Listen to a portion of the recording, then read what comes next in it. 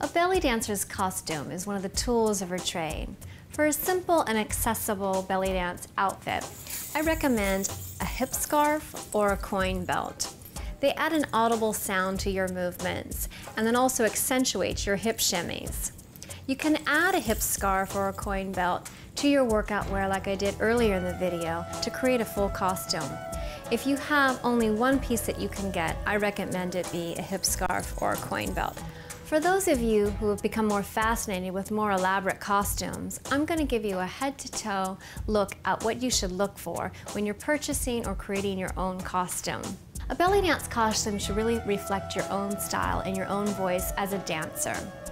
There are many styles from Egyptian to cabaret to American tribal, and you might also have your own personal style of belly dance that you should be reflecting in your costumes. So with a bra, you want it to reflect what you're doing as a dancer, but also be able to hold onto all the different coins or beads that you're gonna put onto your costume.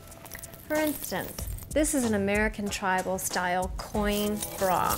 It is very heavy, and if you're gonna make your own costume, you wanna get a bra that's very supportive that can handle as many coins as you wanna put on your costume. They say that coins were put onto costumes from belly dancers trying to show how wealthy they were, so I guess we're doing pretty good here. This belt has Egyptian fringe that is very long and glistens in the light and shows the subtle movements of the dancers from a distance. I have some belts that weigh up to eight pounds.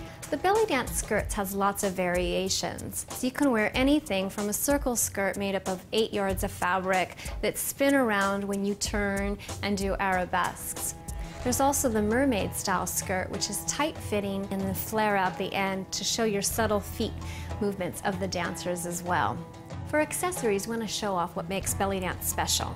You can have anything that accentuates your arm movements, from gloves to epaulettes to armbands that make your nice, graceful arm movements even more exciting. You also want to accentuate your belly with a belly chain or belly jewel. And for the feet, since we dance barefoot, you can wear anklets or toe rings. I personally am obsessed with belly dance costumes, and I have ones of every single color. This is one of my latest costumes. I call this one Barbarella Warrior Goddess. All my costumes have themes and names and were inspired by a piece of fabric, a color, or a theme. For instance, I was inspired by these tassels that are made out of vintage metal, and I created a whole costume around it. This one is called Champagne Toast.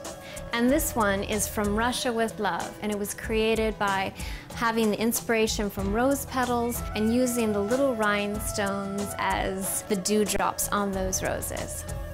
I have some costumes that are made out of shells that I found on the beach or ones that I've sewed and beaded myself for six months. I now use a professional seamstress. I recommend that you get going on your own costume now and you can check out more on goddesslife.com.